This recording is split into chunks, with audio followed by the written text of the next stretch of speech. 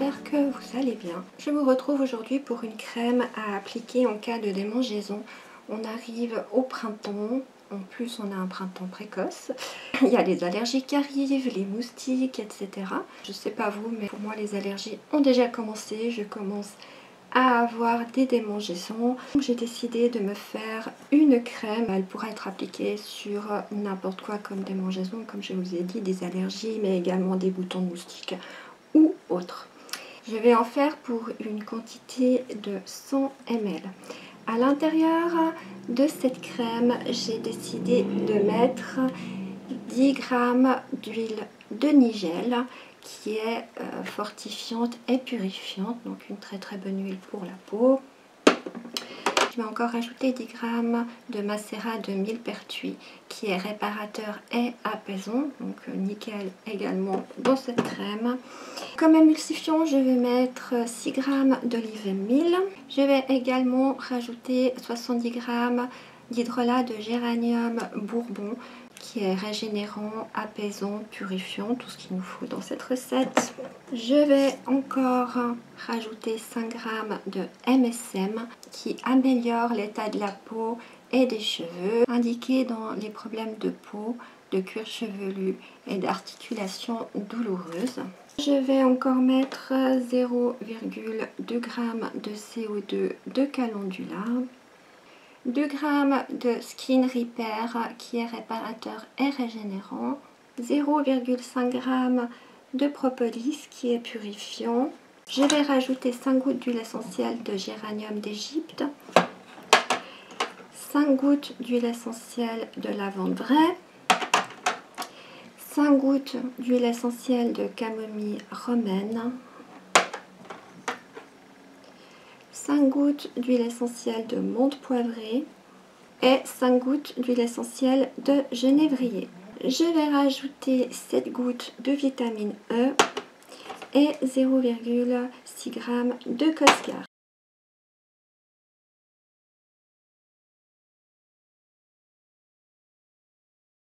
Déjà pesé mes ingrédients. Alors, dans ce petit, euh, c'est plus des petites casseroles, mais c'est des petits seaux. Maintenant, j'ai changé de bain-marie. J'ai 10 g d'huile de nigel, 10 g de macérat de millepertuis et 6 g d'olive mille.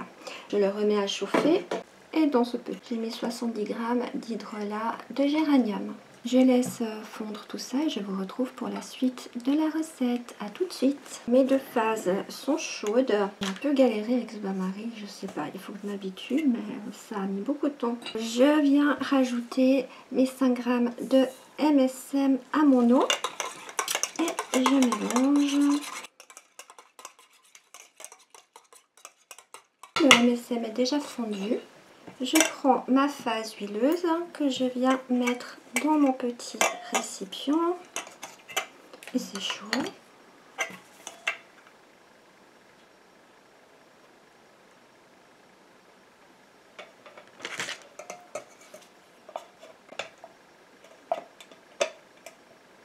Et je viens rajouter ma phase aqueuse à ma phase huileuse tout en mélangeant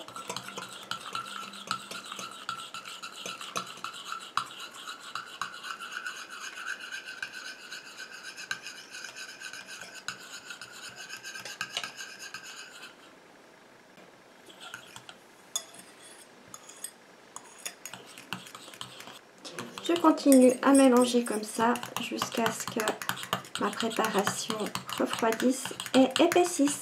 Alors je vous retrouve dès qu'on peut continuer la recette. Voilà, ma crème a bien épaissi. Elle va encore épaissir, elle est encore tiède. Je vais commencer à faire mes ajouts. Donc je vais rajouter mes 0,2 g de CO2 de calendula. Je pèse ma spatule.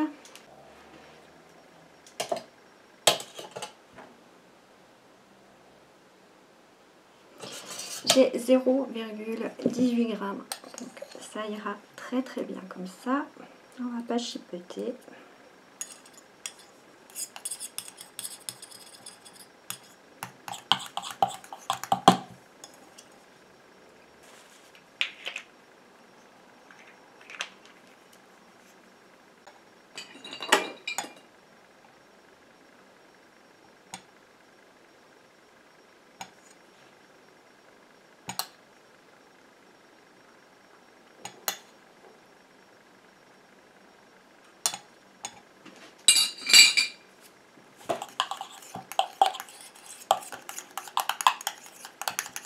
Je mets encore 2 g de Skin Repair.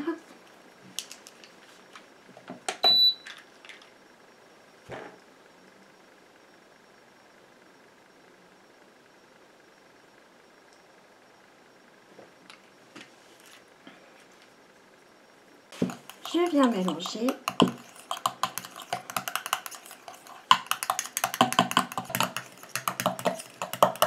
Je rajoute mes 0,5 g de propolis.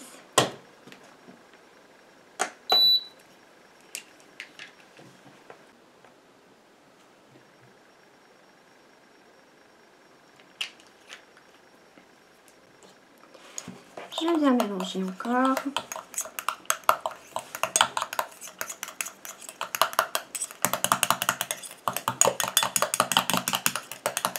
Faire mes ajouts d'huile essentielle, donc c'est pas compliqué, c'est 5 gouttes de chaque. Alors, 5 gouttes de menthe poivrée.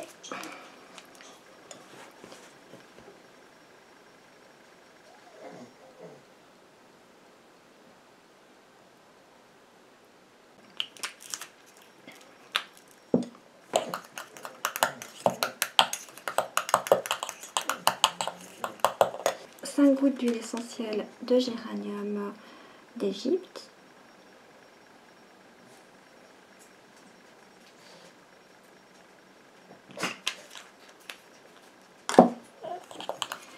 Je mélange.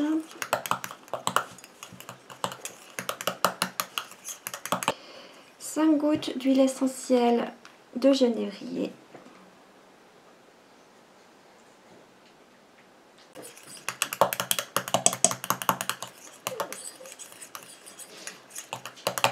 Donc je rajoute encore 5 gouttes de camomille romaine.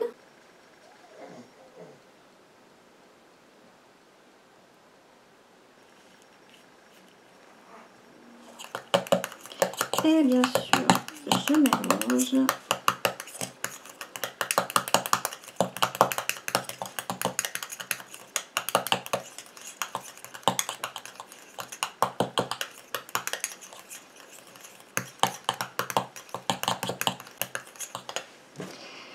Je mets 5 gouttes d'huile essentielle de lavande vraie.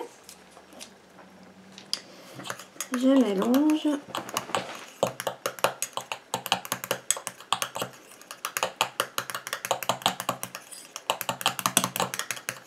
Je rajoute mes 7 gouttes de vitamine A.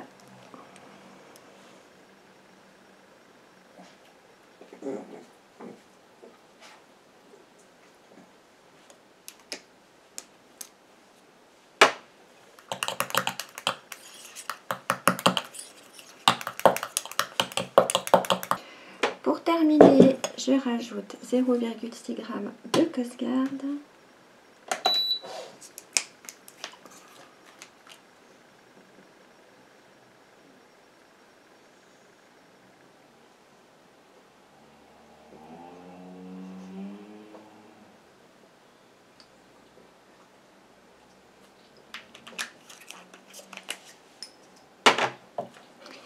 Je mélange.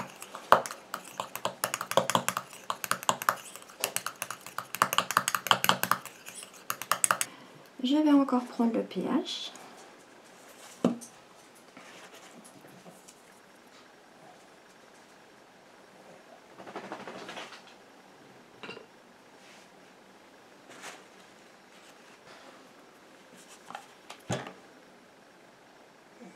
Et on est sur un pH de 5, ce qui va très très bien pour une crème comme ça. Voilà, alors je vais la mettre en pot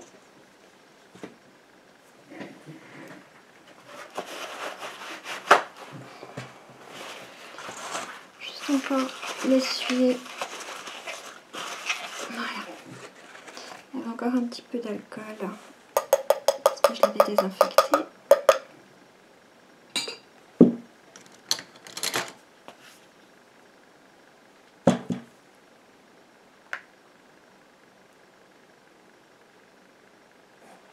Ma crème est terminée.